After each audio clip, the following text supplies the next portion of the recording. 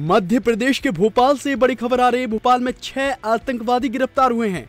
Madhya Pradesh ATS को यह बड़ी कामयाबी मिली है।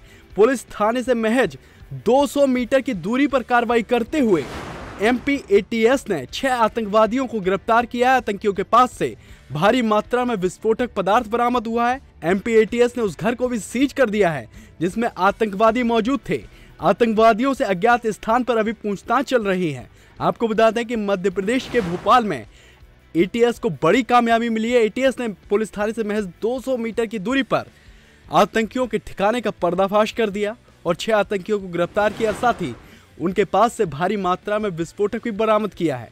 साथ ही साथ एमपीएटीएस की टीम इस वक्त आतंकवादियों से पूछताछ कर रही है ताकि पता लगाया जा सके कि आतंकवादी किस बड़ी वारदात को अंजाम देने की फिराक में थे। क्या कुछ उनकी रणनीति थी इस पर बड़ा पर्दाफाश हो सके, इसके लिए अभी पूछताछ चल रही है।